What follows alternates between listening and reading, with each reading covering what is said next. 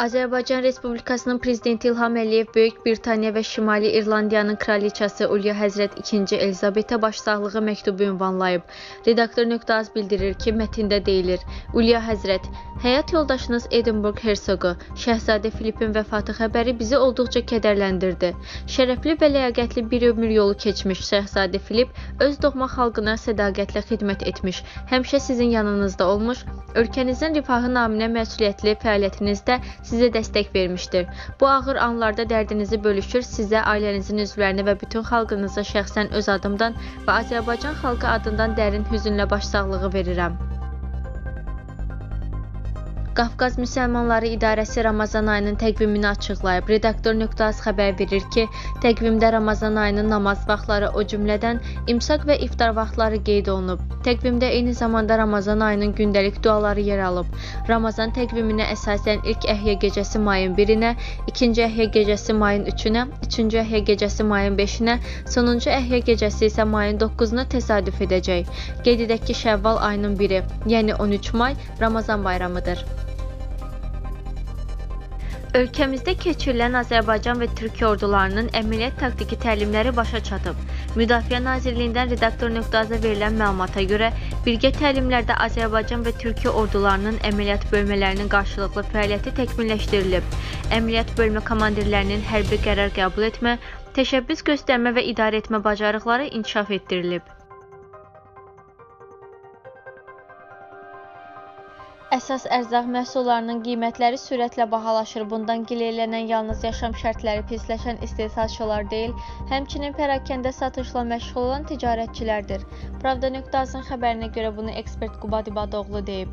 Qubad İbadoğlu qeyd edib ki, birincilər ailə xərclərinin artımından, ikincilər də əhalinin alıcılıq qabiliyyətinin aşağı düşməsinə görə satışlarının azalmasından narazıdırlar. Məsələn, son günlər Azərsun bitki yağlarının qiymətlərini belə artırıb.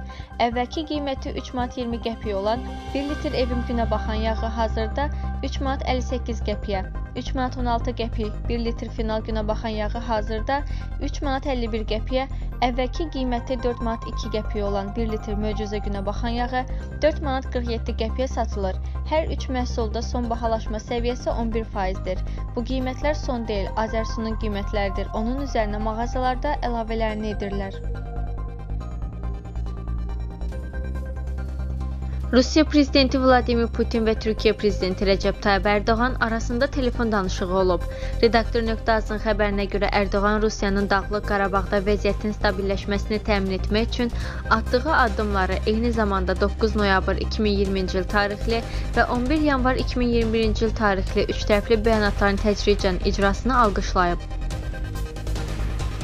Fövqəladə Hallar Nazirliyinin 112 qaynar telefon xəttinə Kür çayının Sabirabad rayonu Cəngən kəndi ərazisindən keçən hissəsində 2000-ci il təvəllüdlü Hüseynli Məryəm Şahin qızının və 2016-cı il təvəllüdlü Hüseynli Hüseyn Şahin oğlunun batması barədə məlumat daxil olub. Fövqəladə Hallar Nazirliyindən konkret nöqtəza verilən məlumata görə Fövqəladə Hallar Nazirliyinin kiçik həcmli gəmilərə nəzarət və sularda xilasetmə dövlət xidmətinin dalğıc axtarış qrupu axtarışlara cəlb olunub. Prezident İlham Əliyev Ailə Məcəlləsində dəyişiklik edilməsi haqqında qanunu təsdiqləyib. Pravda.az xəbər verir ki, sözügedən məcəllənin bir sıra maddələrinə təklif edilən dəyişikliklər qəbul edilib. Məcəllənin 117.6 birinci maddəsində qohumu sözündən sonra bacı, qardaş, nənə, baba, valideynlərinin bacıları, qardaşları, onların övladları sözləri, övladlığa verilməsinə sözlərindən sonra onlar uçuta alındıqları gündən sözləri əlavə edilib. Həmçinin bir sıra maddələrdə yaxın qohumlar sözü qohumları sözləri ilə əvəz edilib. Valideyn himayəsindən məhrum olan uşaqların övladlığa götürülməsinə razılıq adlı maddənin 124.2-ci bəndində yazılı razılığı lazımdır sözləri həmin uşaqlarla bağlı fikri öyrənilir sözləri ilə əvəz edilib. Bolqarıstanın Hərbi Kəşfiyyat Xidmətinin Rusiyanın xeyrinə casusluqda ittiham olunan əməkdaşlarının işi üzrə sensasiyon audio yazı yayılıb. Yeni Sabah.az xəbər verir ki, audio yazıda Rusiya hərbi kəşfiyyatının Bolqaristandakı agent prezidenti həmin casuslardan birinə tapşırıq verib. Dağlıq Qarabağ barədə materiallar topla çox mühümdür, indi aktualdır. Bolqaristan xüsusi xidmət orqanları Rusiyanın xeyrinə casusluq edən həmin əməkdaşları martın 19-da keçirilmiş əməliyyatla yaxalayıb. İş üzrə cəmi 6 figurant var. Casus fiqurun başçısı Bolqaristan Müdafiə Nazirliyinin keçmiş əməkdaşı olub. Qrupa onun arvadı da daxil idi. Qadının iki ikili vətəndaşlığı var. Rusiya və Bolqaristan pasportları daşıyır. Casusları Rusiyanın Sofiyadakı səfirliyindən kurasiya ediblər. Bolqaristan səfirliyinin iki diplomatını casusluqda ittiham edərək persona non grata elan edib.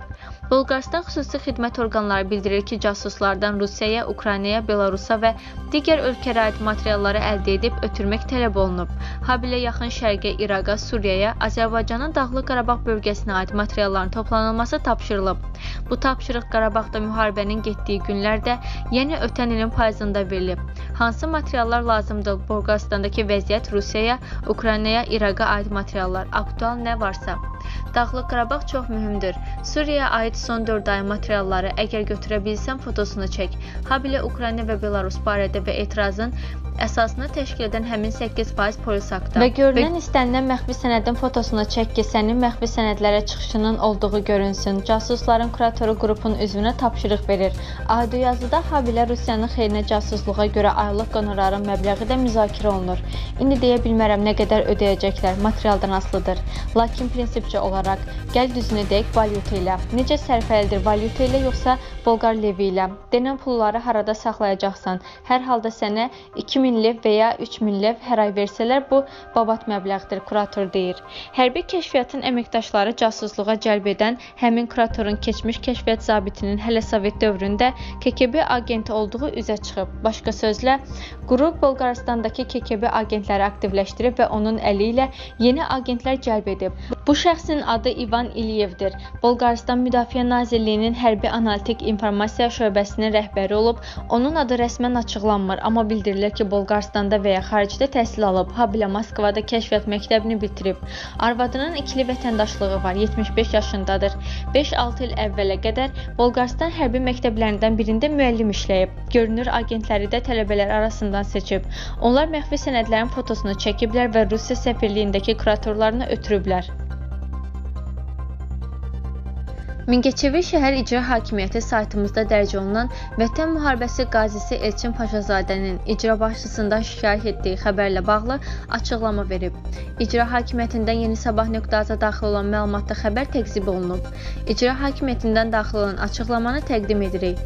Yeni Sabah.az saytında 8 aprel 2021-ci il tarixində dərc olunmuş Qarabağ qazisi icra başçısından prezidentə şikayət etdi. Son ümid yerim sizsiniz adlı məqalədə Vətən müharibəsi müharibəsi qazisi kimi təqdim olunan Mingəçevir şəhər sakini Elçin Yadigaroğlu Paşazadənin güya işlə təmin olunmaqla əlaqədar Mingəçevir şəhər icra hakimiyyətinin başçısı İlham İsmayılovun qəbulunda olduğu və icra başçısının onun müraciətinə iş yoxdur deyə cavab verməsi barədə həqiqətə uyğun olmayan məlumatlar yer almışdır. Bildiririk ki, 2-ci Qarabağ müharibəsi iştirakçısı Mingəçevir şəhər sakini Elçin Yadigaroğlu Paşazadə işlə təmin olunması ilə əlaqədar icra hakimiyyətinə rəsmi müraciət etmiş. Müraciəti ilə bağlı vətəndaşı şəhər icra hakimiyyəti başçısının müavini, sosial-iqtisadi inkişafın təhlili və proqnozlaşdırılması şöbəsinin müdiri Fərid Məmmədov qəbul etmişdir.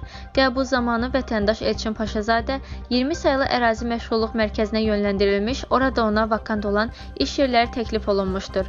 Lakin ərizəçi təklif olunan iş yerlərindən imtina etmişdir. Ərizəçi yalnız Dost MMC-nin xətti ilə sosial işdə işləmək arzusunda olduğunu bildirmişdir. Bu səbəbdən də o 20 saylı ərazi məşğulluq mərkəzində işsiz kimi rəsmi qeydiyyata alınmış və ona izah olunmuşdur ki, həmin sahədə vakant iş yerləri yaranan kimi qısa müddətdə işlə təmin olunacaqdır. Əlavə olaraq xatırladırıq ki, kütləvi informasiya vasitələri haqqında Azərbaycan Respublikasının qanununun 31-ci maddəsinin 2-ci bəndinə əsasən vətəndaş və təşkilat barəsində kütləvi informasiya vasitəsində onların hüquqlarına və ya qanuni mənafələrinə toxunan məlumat dərc edildikdə və ya verildikdə onların elə həmin kütləvi informasiya vasitəsində cavab dərc etdirməyə və ya cavab verməyə haqqı vardır. Həmin qanunun 32-ci bəndində qeyd olunur ki, redaksiya verilmiş cavabları mənasını təhrif etmədən lazımi redaktə və ya ixtisarla dərc və elan etməyə borcludur. təqsibin və ya cavabın rədd edilməsindən yaxud onların bu qanunla müəyyən edilmiş qaydasının pozulmasından Azərbaycan Respublikasının mülki və ya mülki prosessual qanunvericiliyinə uyğun şikayət verilə bilər. Odur ki, qeyd olunanları nəzərə alaraq adı çəkilən məqaləyə cavab olaraq Mingəçevir şəhər icra hakimiyyətinin mövqeyinin rəhbərlik etdiyimiz saytda olduğu kimi dərc edilməsini sizdən xahiş edirik. Erməni hərbi əsirlərin yaxınları Gömrü İrəvan və Gömrü Vanadzor yolunu bağlayıblar. Axar.az xəbər verir ki, bu barədə erməni mətbuatı məlumat yayıb. Etirazçılar Müdafiə Nazirliyinin onlarla görüşməyə qərar verməsindən sonra yol açmağa razılaşıblar. Qeyd edək ki, ötən gün bir qrup etirazçı İrəvan Gömrü dəmir yolunu da bağlamışdı. Yolun açılıb-açılmaması ilə bağlı məlumat verilmir.